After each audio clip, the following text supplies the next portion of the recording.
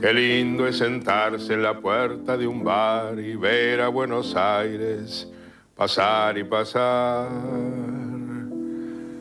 Pasa el orejudo de la dulce plata, esta vez no la saca barata.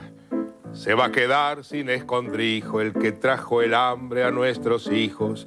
Pasa una patota de escrachadores, haciéndole el juego a los senadores pasan orondos los senadores, que son los mejores destitutores.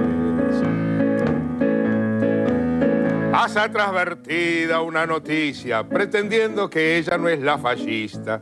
Pasa el periodismo muerto de miedo, sus acusaciones son tan al pedo. Pasa unos autos haciéndose mierda, Santa Fe le reinventaron la izquierda.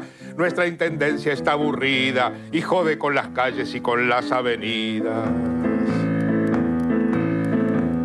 Pasa postergado el casamiento gay, ciertos sectores no quieren la ley, pasan corriendo los diputados, pasan alabados y pasan puteados, pasa un video con dos hermanos defendiendo tan solo sus derechos humanos, mientras estoy en la puerta de un bar viendo a Buenos Aires pasar y pasar. Muy bien.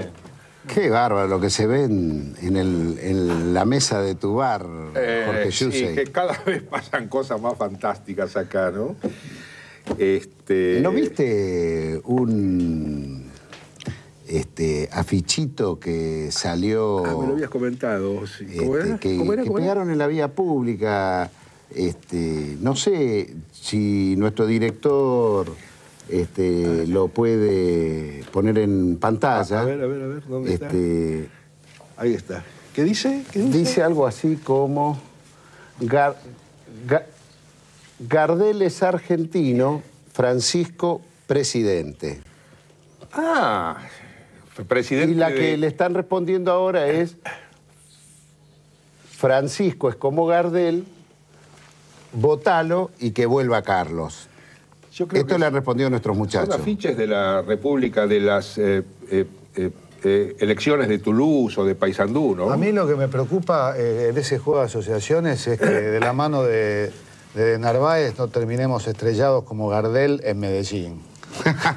Digamos. Bueno, Medellín lo tenemos cerca ya, Por eso ¿no? digo, ¿no? Me, preocupa. muy bien, Creo muy que bien. deberíamos reflexionar sobre Sí, eso. Hay que sí.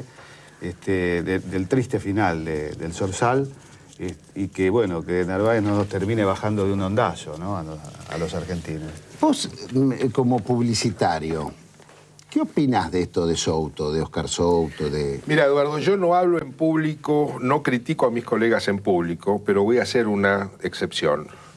O sea, a mí me parece una de las cosas que peor hablan de nuestro trabajo, de los... eh, eh, Estamos hablando, expliquemos de qué estamos hablando. Estamos hablando del comercial, porque no es un video testimonial, es un comercial hecho con las mañas de un comercial de eh, televisión, de la defensa, entre comillas, de Felipe y Marcela Noble, que se ha filmado hace pocos días y que está muy difundido, en el cual se nota la falsedad absoluta, porque no hay un titubeo, porque vos como hombre de cine tenés que coincidir conmigo, en que no hay ninguna credibilidad. Está hecho con dos cámaras, se ve que está hecho con el eh, teleprompter de Telenoche y probablemente se haya hecho en los mismos eh, estudios. Es decir, cuando un, eh, cuando, un, cuando un intento de comunicación no es creíble, opera en contra. Yo creo que les ha operado en contra. Y creo que es uno de los graves errores que ha cometido este muchacho, a quien no conozco personalmente. A Souto. Sí, pero me parece detestable ese laburo, detestable. Así como, bueno, todo lo que hace con su call center y que he leído también me parece detestable políticamente. Y no ¿Qué es lo que hace con el call center? Bueno, este, con el call center se llena de mensajes, las radios, se escriben en los foros.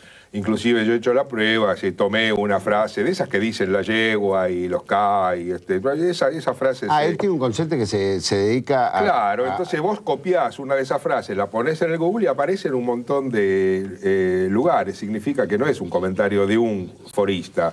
Es una cosa programada, premeditada. Digo, hablando del tema ahora, del fenómeno Es- de los es, blogueros. Claro, es eh, de alguna manera el fenómeno de la concentración mediática ha sido compensado enormemente por la militancia bloguera. haciendo- Estos se están haciendo como contrainsurgencia. Yo te diría, con- con yo- algún- intentan copiar y reproducir los métodos de, lo- de- de- de- Sí. de- de los Sí, blogs, de que son, cuya característica central es la espontaneidad, es. la diversidad de opiniones, haciéndolo de un modo eh, Porque aparte- industrial. mercantilista, porque yo diría que con estas eh, eh, acusaciones, ayer Lazarlo, o, o, mm, sí, ayer creo, en La Nación, sacó un brulote difamando. Digamos, yo estoy en el colectivo de blogs Arte Política, que es un colectivo de blogs peronistas, yo no Sí, soy peronista, pero lo leo, escribo y participo. Hay unos 500 blogueros, a muchos de los cuales conozco eh, personalmente. Y yo pongo las manos en el fuego de que acá no hay un solo bloguero rentado. Que los hay, los hay. Y hoy me llegó uno de un bloguero rentado que es un periodista. Estos no son periodistas, estos son militantes. Entonces, bueno, me parece que hay mucha basura dando vuelta por el ambiente, hay mucha campaña sucia, digamos, la campaña de Souto es una campaña sucia, y este, yo soy un enemigo de las campañas sucias. Creo que lo que llevan es a ensuciar la política y a deteriorarla, como este cartel de, eh, de Narváez, ¿no? Si Gardel, este, no sé qué, qué dice, me parece Bueno. que es parte de una comunicación sucia, torpe, ordinaria, vulgar y gruesa. Yo creo que es muy importante.